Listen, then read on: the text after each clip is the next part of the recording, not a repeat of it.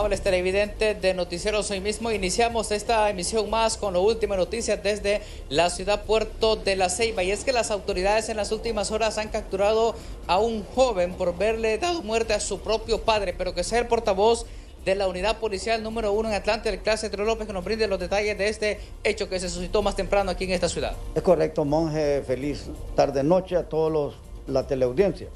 En las últimas horas la Policía Nacional eh, fue alertada que en el sector conocido como la Colonia Olímpica había una persona fallecida. Inmediatamente se, llegó al sector con varias patrullas policiales, eh, dando por verídica más que todo dicha denuncia, en el cual se pudo observar un cadáver quien en vida respondía al nombre de Osli Daniel Silieser Hernández, 53 años, quien presentaba heridas de arma de fuego tipo escopeta, eh, eh, a manos de su propio hijo de nombre Daniel Efraín eh, Sánchez, de 28 años, de edad hondureño originario y residía en dicho sector.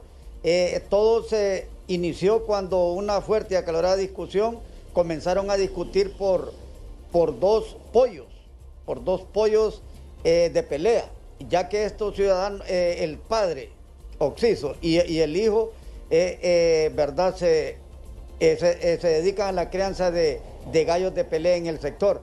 Aquí inmediatamente los entes de, investigación e inteligencia iniciaron una búsqueda, dando tres horas después la captura en fragancia de, este mal hijo eh, eh, y presentándolo ante el fiscal de turno por el delito de parricidio en perjuicio de, su padre. Aquí se le decomisó el arma homicida, una escopeta con tres cartuchos sin percutir. Una pronta acción.